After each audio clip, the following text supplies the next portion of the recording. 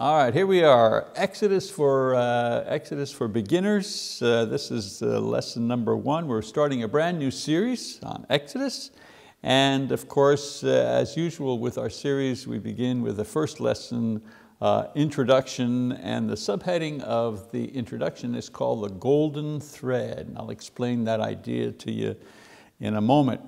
Uh, one of the resource books that I um, that I used for this study, um, Commentary on Exodus by D.A. Garrett. Uh, Mr. Garrett summarizes perfectly the difference between the books of uh, Genesis and the book of Exodus, but also the essential purpose of the book we are about to study, uh, which is the book of Exodus. Here's the passage in question, and I quote it. Exodus is the true beginning of the story of Israel. Genesis is essential to the story, but it is a prologue describing the lives of individual patriarchs rather than the history of a people. With Exodus, we begin the story of the national entity called Israel. Uh, in other words, in Genesis, the scene is set for the story that the Bible has been written to tell. Uh, and that story, of course, how and by whom the natural world came into being. Uh, the details explain mankind's creation and purpose, fall into sin, and of course the consequences of his sinful state. Uh, Genesis also records God's promise of an eventual Savior and His selection of one man, Abram, who later became Abraham, through which He would send His Savior. And of course, uh, the book of Genesis finishes by focusing on the growth of this one man's family into a clan of 12 families, each led by the descendants of this one man, Abraham, who was originally chosen by God.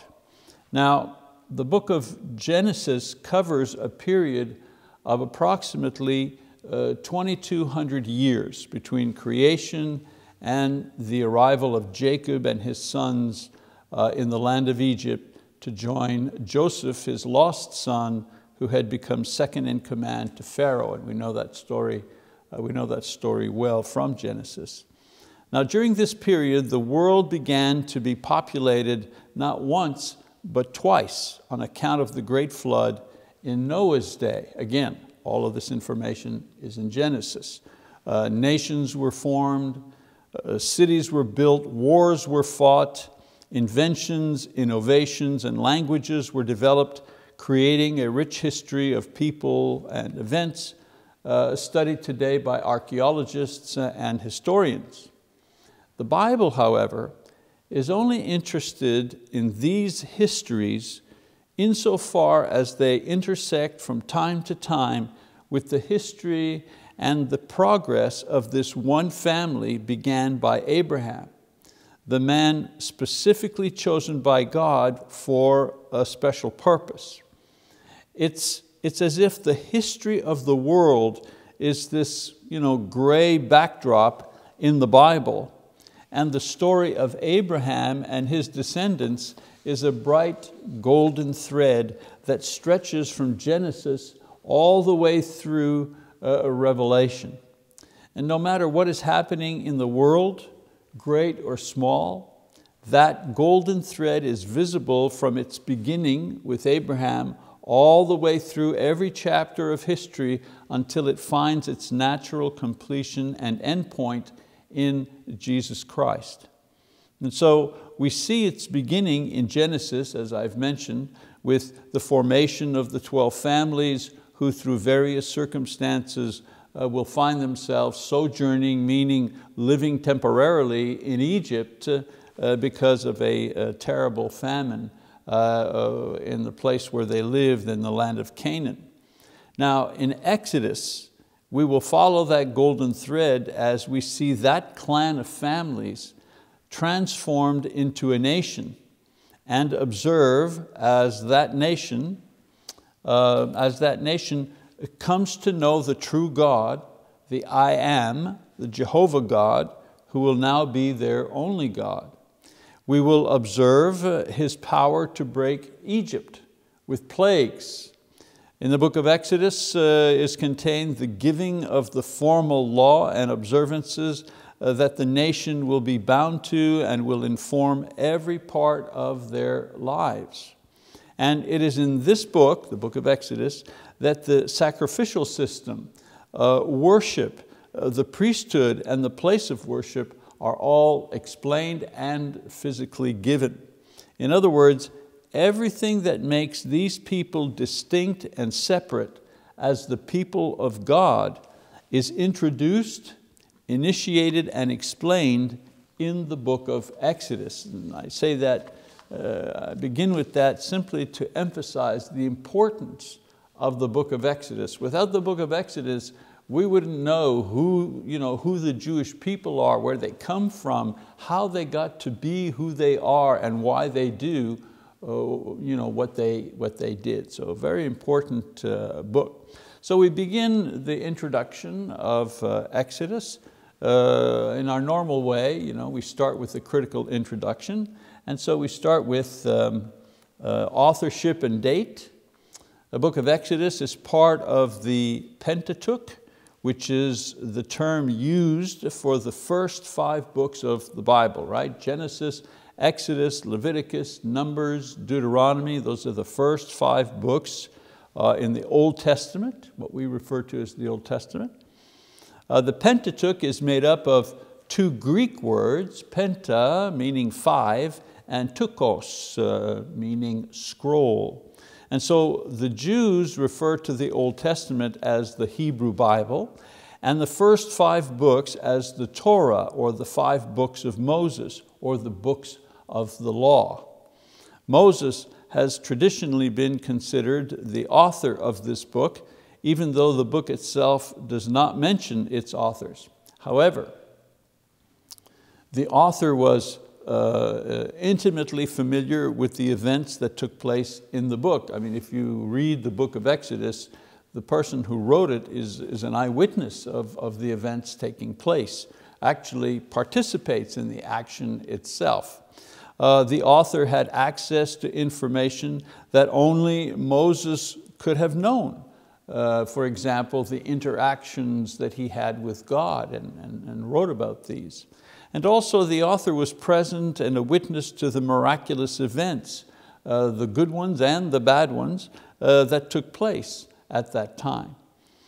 Uh, conservative scholars name Moses as the one who compiled and recorded uh, oral traditions, genealogies, and personal eyewitness accounts into one orderly record of the Jewish uh, people's departure from Egypt their wanderings in the uh, wilderness, and interactions with God.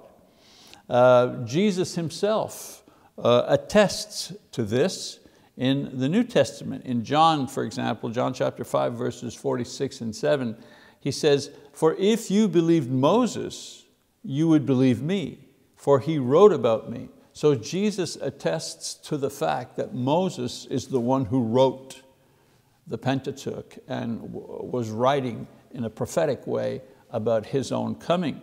He continues to say, but if you do not believe his writings, how will you believe my words? John 5, 46 and 7. Then in John 7, 19, he says, did not Moses give you the law?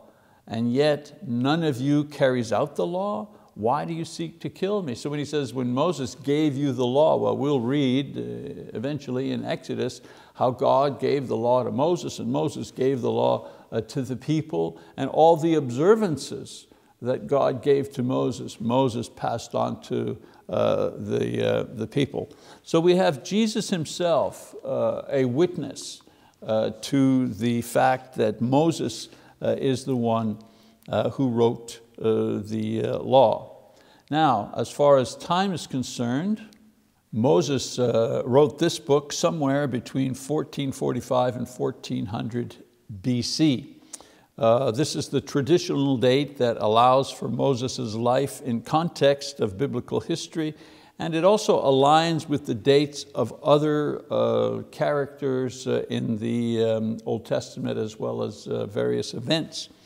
Some modern critical scholars deny that Moses wrote this book and that it was written during the Jewish exile in Babylon in the sixth century BC and completed after the Jews were freed to return to Jerusalem and rebuild the city and the walls and so on and so forth.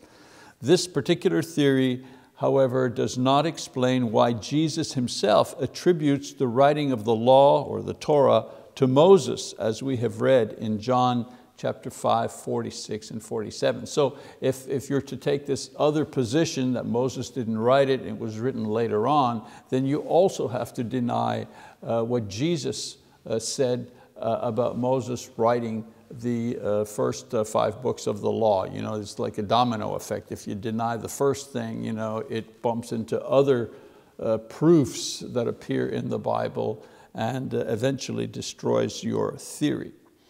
Of course, a lot of the action takes place in uh, Egypt, and so I think it would uh, help us to understand a little bit about the country of Egypt at that time. Uh, the word Egypt referred to the uh, original name of the city of Memphis. Uh, I'm not talking about Memphis, Tennessee now, I'm talking about Memphis in Egypt. Uh, the original name of the city of Memphis was Mansion of the Spirit of Ptah. And so the name Egypt uh, comes from the root of that. A little bit about the uh, geography of uh, Egypt. It is a country uh, in North Africa, an ancient country in North Africa.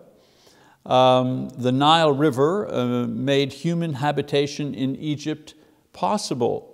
Uh, the river itself flowed from its source in the south, um, in uh, Lake Victoria, which is uh, situated in modern day Uganda and Tanzania, and it flowed northward to eventually empty into the uh, Mediterranean Sea.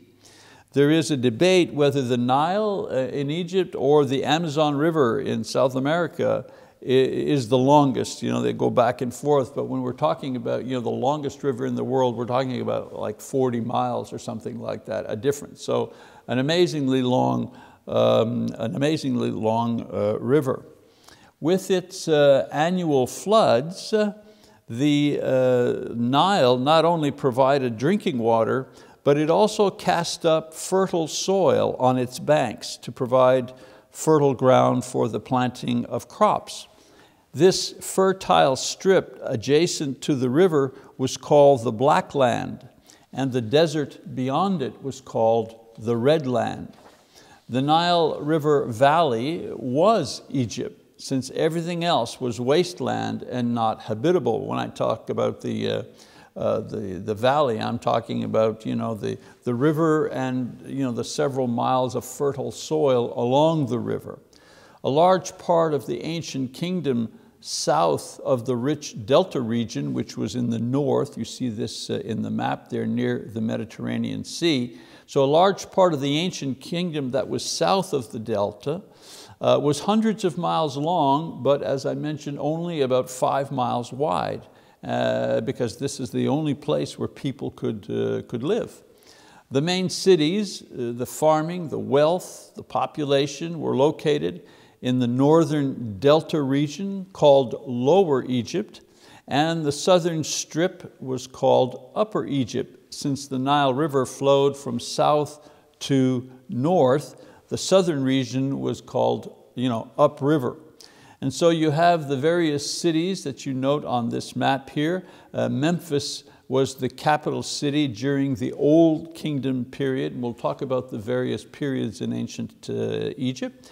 Uh, Thebes uh, was the capital uh, during the New uh, Kingdom, and uh, we talk about the land of Goshen, you know, uh, that Jacob and his family habit, you know, lived in. Um, the land of Goshen, well, the land of Goshen is up in the northern, you know, the east, northeast part there in the, in the delta. Uh, Egypt's geography largely protected it from enemy attack. For example, to the east uh, was a harsh desert and of course the Red Sea. Um, to the west uh, was the vast Sahara Desert. To the north uh, was the great Mediterranean Sea, and then to the south uh, were natural waterfalls in the Nile itself, which made naval attack uh, very difficult. The greatest weakness, uh, geographically if you wish, was the overland route in the northern corridor which connected the delta region in the north there, the green part that you see, connected that with the land of the Canaanites and later on uh, the uh, land of the Israelites. So you had this northern, uh, this northern route uh, that got you into this uh, particular uh, territory. The greatest strength of the country was the abundance of food that they grew in the delta and the valley to provide for their nation and export to other countries. Now, they also had an abundance of gold and precious stones which showed up in the beautiful artworks that they uh, produced that are uh, available and to be seen in various museums even to this day. They also were great producers of food and uh, that's uh, you know, behind the story of uh, Joseph when he, is in, uh, when he is in Egypt. a little bit about the history. Egypt uh, was uh, ruled by pharaohs that lasted 3,000 years. It was the first world power. its history can be divided into 11 major eras and uh, in briefly reviewing these, we can also begin to see where Egypt's connection to the Jewish people appear historically. So let's take a look at the chronology of uh, ancient uh, Egypt. Uh, scholars put the date of the Exodus uh, at around uh, 1447. Uh, so let me just uh, show you a little bit of the you know, history here uh, before we um, position you know, when, when Joseph entered Egypt, when the Jews were there. So you have the pre-dynastic era, prior to 3000 BC, that shows you how old a country this is. Uh, Egypt was not unified at that time. The uh, archaic uh, era, uh, between 3000 2700 uh, BC, Egypt was unified. Uh, classical Egyptian culture was established at this time. You have the Old Kingdom period, uh, the third to the eighth dynasty, 2700 to 2160 BC. This is the pyramid age, when the pyramids were built and Egypt uh, was uh, powerful and, uh, and united. You have the first intermediate uh, era, 9th and 10th uh, dynasties, 2100 to 2000. during this time there was chaos, disunited Egypt. And then we enter the Middle Kingdom. This is uh, the 11th and 12th dynasties, 2100 to about 1786 BC, uh, a second era of power and unity which overlaps with the first intermediate. Now, the important part of the middle kingdom is that this is the time we believe that Joseph uh, uh, was, um, you know, Joseph was brought uh, to Egypt and we know the story uh, how he rose to power, becoming second, if you wish, in command of the nation uh, during the famine, and it was during the famine that his brothers came uh, to find food, and eventually the family was reunited and brought to Egypt uh, to live. A little more information here, more eras, the second intermediate era, 1700 to 1550, uh, weakness and division. This period includes the uh, Hyksos uh, dynasties. And then we have the New Kingdom, uh, the 18th to the 20th uh, dynasty, 1550 to 1069. And this is important because Egypt's imperial age, the Exodus probably took place in the 18th or 19th dynasty. This is where the Exodus uh, took place. So uh, we can continue, third intermediate, the state, uh, the state uh, Persian uh, era, the Ptol uh, Ptolemaic period, and then the Roman period after 30 BC uh, there was a decline, and it was the end of classical Egyptian culture under Roman domination.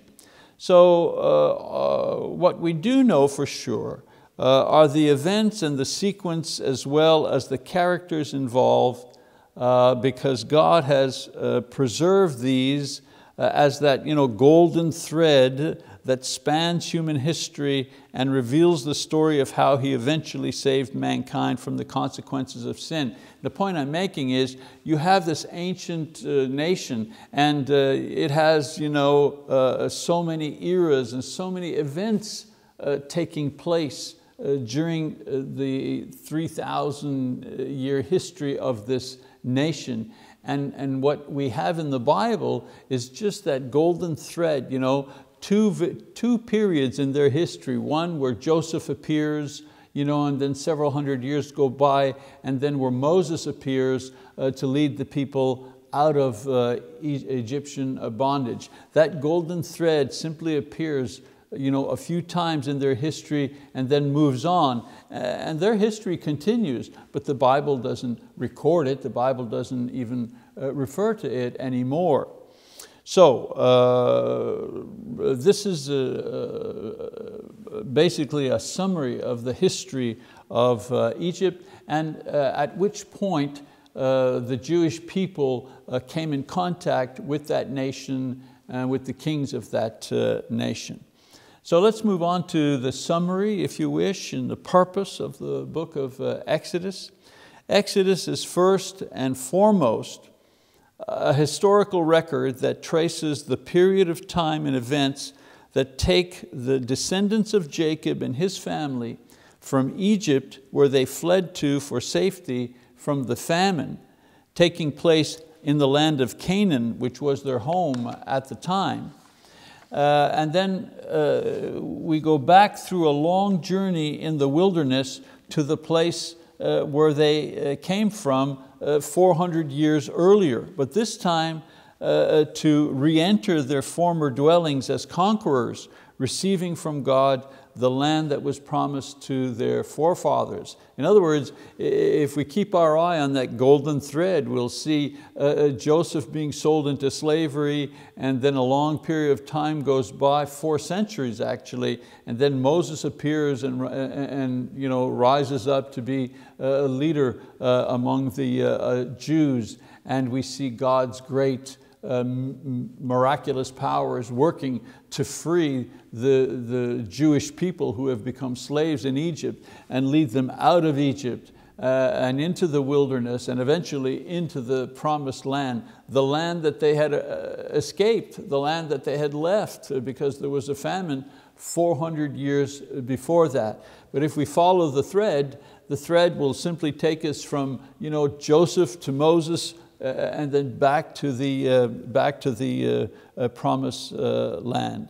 So Exodus um, is the history of that return journey and the transformation that God works as He literally creates a new and distinct nation out of a people with no leader, no purpose, and no power, having developed as a slave population while living in Egypt the book of Exodus tells us this story.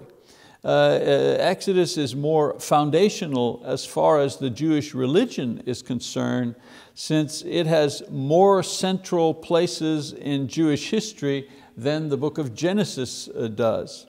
Uh, for example, according to Deuteronomy chapter uh, 6, verses 20 to 25, when a, an Israelite uh, child asked his parents, why they were under so many religious rules and regulations, the answer was to be, we were slaves of Pharaoh in Egypt, but Yahweh brought us out of Egypt with a mighty hand.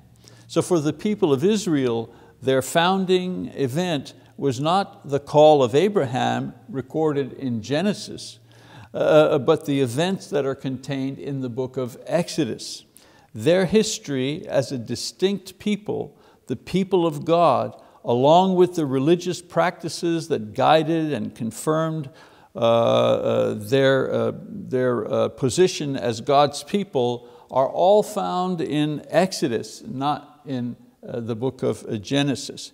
So Exodus provides the explanation for the claim that the Jews were the people of God, the uh, chosen people. You know, if someone says, how do you know that the Jews were the chosen people of God? Where does it say that? Well, you would take them to the book of Exodus and you would read and show them you know, how these people who were not a people became a nation, uh, became God's people. And the book of Exodus explains how that, uh, how that happens. All right, so we have some main characters in the book of Exodus.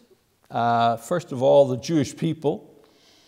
As I say, Genesis provides the backstory of who the Jews were and how they came to be in Egypt. Uh, however, Exodus introduces them in the first seven verses and simply adds that from a small beginning, they grew into a large and powerful population that actually threatened the native Egyptian population by their growing numbers and uh, potential influence. Uh, they had no leaders, uh, which are mentioned among them. No one spoke on their behalf as a group. Uh, they were still an association of clans led by family uh, elders. Another uh, main character, of course, is God himself. In Genesis, we see God's power in, in creating the universe and His dealings and appearances to individuals. In Exodus, we begin to see other aspects of His being. He is, for example, the one and universal God. In Exodus 3 verse 15, God refers to Himself as the I am as the I am. And this sets him apart from every other God. Uh, he's also the God of wrath. From the plagues on Egypt to the thunder and lightning on Mount Sinai, God demonstrates His ability to punish and intimidate His enemies as well as uh, His disobedient people. And He's also the God of mercy. Mercy is His primary characteristic and not wrath. And this is shown by his compassion in response to human suffering. You know, the Egyptians uh, were enslaving uh, the Jews and they were crying out to God. He endures uh, patiently the repeated provocations of the Jews when they complained and they were ungrateful or they rebelled against Him. Uh, and He forgave and restored them after their grave sin with the, uh, with the golden calf. Um, he's also the God uh, who is wholly other. He is completely holy and unlike man. Moses had to remove his sandals to enter the holy space of the burning bush, and God only interacted with the people through Moses, uh, who became his sanctified servant. He was also the God of Israel, the Jews became a special people through divine intervention, a sign that God can interact with humans without destroying them. And He is the God of the moral law. The people of God are bound to His laws, which are holy and righteous and moral and very specific. And so the point here is that no other God revealed himself in such a personal and dynamic way as this God, as the God of the Jews. Uh, he was above man, uh, not because man had placed him above the, among rather the deities, uh, which is what happened with the pagan gods of the Egyptians. The Egyptians are the ones that invented these gods and placed them you know, in the pantheon of their, of their gods.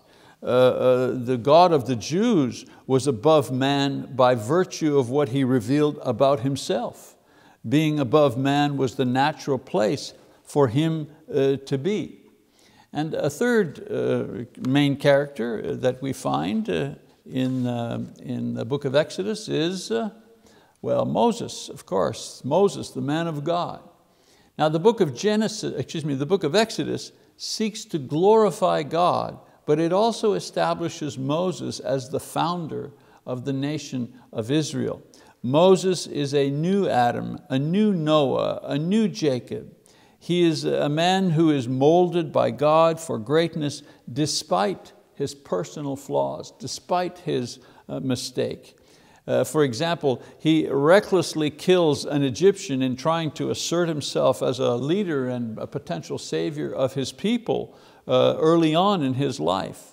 And then he lives in self-imposed exile, underemployed as a, a shepherd in the wilderness. Uh, then he refuses to speak as God's representative so that God has to provide Aaron, his older brother, to carry out this task. And of course we see he flashes a bad temper, he has a quick temper, when he violently throws down and breaks the tablets upon which the commandments were written by God. Uh, uh, uh, upon seeing the people worshiping the golden calf. He sees the people worshiping this idol and he's so angry he throws the, the tablets that God himself had written on. He throws them on the ground and they, they break. So uh, we see several times that his temper uh, gets him into trouble. However, God patiently brings him to spiritual maturity, even greatness, because despite his failings, Moses never abandons his faithful service to God. Even after he is told he's not uh, going to enter the promised land with the people because of his disobedience, and in many instances his disobedience caused by his temper. Anyways, because of his disobedience, uh, uh, this time in striking the rock twice instead of speaking to the rock in order to draw water, that story we, we read about in the book of Numbers, chapter 20, uh, even though he is told by God he's not going to enter the promised land, he continues to faithfully serve God as best he can, following his instructions, helping to establish uh, Joshua as the one who will continue uh, his leadership role. So uh, Moses is the great as well as relatable role model for weak and sinful people who sincerely aspire to please God and serve Him in important and dynamic ways. Good role model for that. And then a fourth main character is Egypt itself, uh, the symbol of worldly power. Uh, Egypt represents every worldly power that God's people have had to deal with in every era. It is the antitype for every worldly kingdom in opposition to the kingdom of God from the beginning uh, to the final day uh, of this ongoing conflict to the end when Jesus comes to destroy it once and for all time. Worldly powers, uh, worldly kingdoms uh, who worship gods of wood and stone, worldly kingdoms who concentrate power in the hands of few, in this case in the hands of Pharaoh, worldly powers who oppress the righteous with slavery and murder and hatred and separation, worldly kingdoms and powers who have a fixation on material prosperity as a major factor in decision making, worldly kingdoms uh, uh, who uh, uh are dependent on the power of the occult and the influence of dark power and legitimize this type of thing in their, uh, in their, uh, in their power. And worldly powers who represent and facilitate apostasy. You know, I've never seen a government that actually promotes uh, the belief uh, the belief and obedience to, uh, to uh, Jesus Christ. They're usually the other way around. So Egypt, just as every world power since, except perhaps in certain ways and for certain times America, Egypt featured these symbols of worldly kingdoms which were all on display in their dealings with the uh, Jewish people. They did all of the things that worldly kingdoms do to uh, believers. And so Exodus reveals for the first time the features of the king of the heavenly kingdom, as well as his power and ability to subdue and to destroy even the mightiest of earthly kingdoms and earthly powers. And so from the beginning of the Bible, with the Egyptians and throughout the Bible with the Assyrians or the Babylonians, all the way to the end of the Bible in the book of Revelation where God's kingdom Uh, eventually defeats the greatest of the earthly kingdoms, and that was Rome, the story is always the same.